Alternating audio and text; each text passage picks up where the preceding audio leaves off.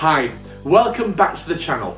This is Jessie, my working Cocker Spaniel. She's five years old and she's an ex-breeding dog. I've had her for just a little over two months now and she's becoming one of the best decisions I ever made. I decided I wanted to have a dog and I've had dogs in the past. I had an Old English Sheepdog when I was a kid and when I was a teenager I had a West Highland Terrier.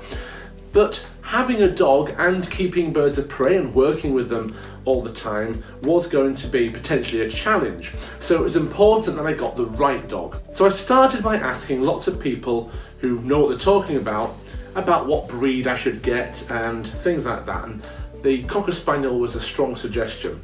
So I began looking around for something that needed a home. I wasn't interested in a puppy, I wanted something that was a bit older, that was looking for a retirement home or something like that. And this ex-breeder from a licensed breeding facility in West Yorkshire was just ideal.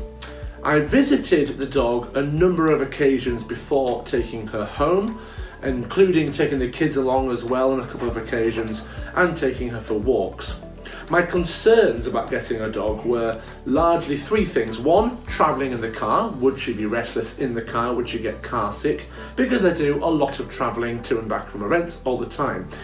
Secondly, would she be okay on display with the birds? Because I don't want her to go near the birds. My birds of prey will get used to a dog with time, but even then, they can be startled by her, and there's a risk that the dog could injure a bird or that the bird could injure the dog. And my third concern was walking. I wanted a dog that I could take for long walks and have her just off the lead free, following me around. Well, I'm pleased to say she travels really well. She just curls up on the seat and enjoys the ride, has a little snooze as we go to events. On display, she sits by the display, no problem at all. We take her for walks oftenly during the day whilst we're actually on display as well. And that's on top of the walk she gets in the morning and sometimes an evening too. And the element of being near the birds isn't a problem. She's very cautious around the birds and therefore she's not running up to them and if any of the birds give her a bit of a warning hiss, she backs right off. So that's all going really well too. Some of my birds, like the peregrine falcon, aren't bothered about dogs whatsoever at all, and she can go and sniff all near them and they just don't care. And one or two of them are more cautious because they see dogs as a predator, which of course they naturally are. But as you can see, Jessie here loves attention. Her recall's fantastic. I have no issue, as I say, off the lead, no problem calling her to me.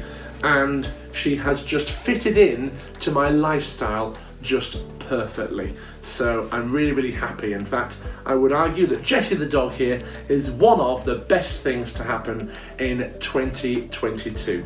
So you're going to see Jessie popping up in various videos in the future, like in the Owl Diaries and things like that. You might see her being walked in the background or little clips of her with me because at the moment it seems that most of the time, wherever I am, Jessie here isn't far away.